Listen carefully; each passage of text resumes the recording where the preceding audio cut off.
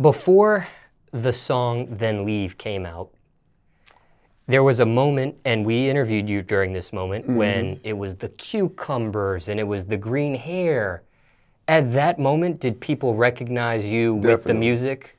Definitely. That that was the beginning of it. Okay. That cucumber thing, it really branded my likeness. People knew what I looked like, the green hair. When I get booked for shows, people was like, I, I remember in Atlanta in 2018, I was the cucumber nigga, that's what they called me. What's up, you, you the cucumber nigga, you know what I'm saying? When I met Key Glock about two years ago, what's up, man, you the cucumber nigga. I'm like, I guess I'll take that. I'm the cucumber nigga, you know what I'm saying? But, you know, uh, people who know me, you know what I'm saying, they know I'm just, I was going through a phase and it was I was making a lot of money off that disgusting Justin era. That whole cucumber thing, it was a time to be alive. If you was at a BeatKing show, it was crazy. You know what I'm saying? So, yeah. Did the green hair, was the green hair that color selected to match the green cucumbers? Yeah. Was that the purpose? It was it was that it was um I had a video shoot in Oklahoma and my homegirl Bree, we still cool to this day. It was just a lot of nasty stuff going on in this video shoot in Dallas, man. And she was just like, Man, you're disgusting.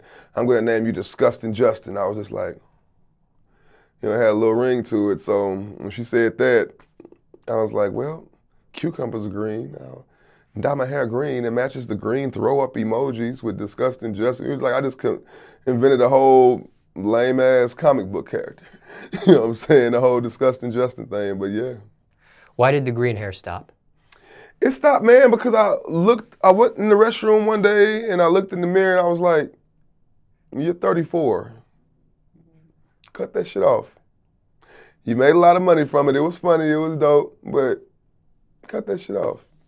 You know, so now I'm 35. I'm finna be 36 in what two months.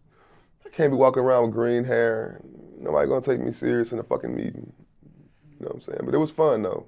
I don't regret it. It was a crazy time. How long did you have that green hair for?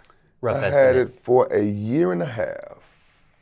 And prior to you making the decision to switch up the green hair, Mm-hmm. did people say, okay, enough of the green hair? Hey, tired of the green hair. We don't need the green hair anymore. Nobody ever said it. Okay. Nobody. My daughters would tell me they were tired of it, but other than that, it became a part of my brand. People associated that with me, you know. So I saw a lot of other people doing it, getting green hair, and I was just like, I'm just a trendsetter, man. It's been that way, and I never get credit for the things I start. But I've started a lot of stuff in hip hop, straight up. Like if BeatKing didn't exist, a lot of things in hip hop would be different.